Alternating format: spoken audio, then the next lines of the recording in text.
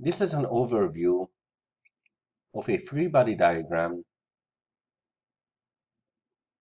for a box sliding down a ramp. You first start with a representation of the box itself as well as lightly representing the contact surface of the ramp. You draw the forces acting on the object. There is weight, also known as the force of gravity, acting on the center of mass.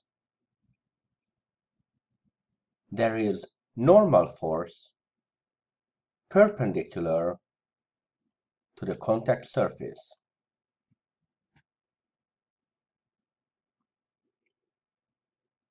There is friction, in this case kinetic friction, opposing the slide of the box down the ramp. Next, we remind ourselves of the direction of acceleration. Draw this on the side as to not confuse it with the force vectors.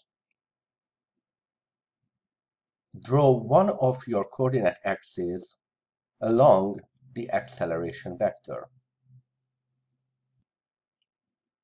Draw the other perpendicular to this axis.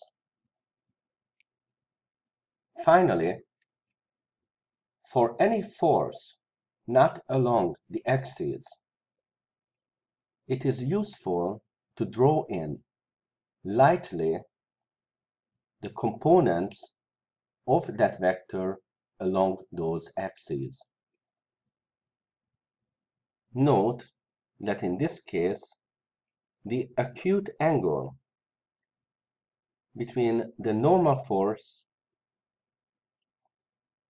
and the gravitational force is the same angle as that of the ramp.